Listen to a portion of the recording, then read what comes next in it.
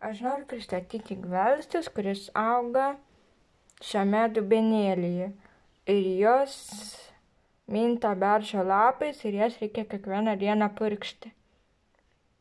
Štai matote, kokios jos mažos, bet po to jos užaugs kaip žalias kaip lapas.